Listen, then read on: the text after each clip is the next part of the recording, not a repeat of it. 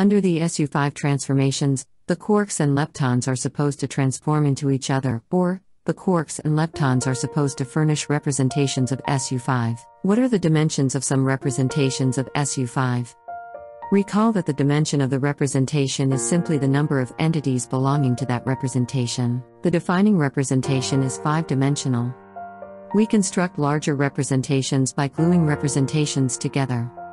Let us, then, glue two defining representations. We imagine gluing a circle and a square together.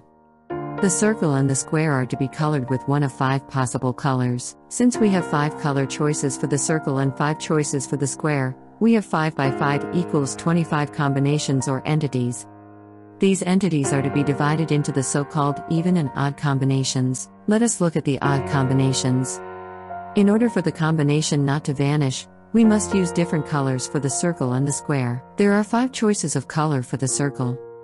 For each of these choices, we have four choices of color for the square. It appears that we have 5 by 4 equals 20 combinations, but we must divide by 2 to avoid counting twice.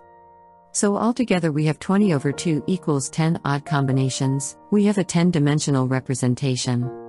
The quarks and leptons would fit exactly into the 5 dimensional and the 10 dimensional representations of SU5.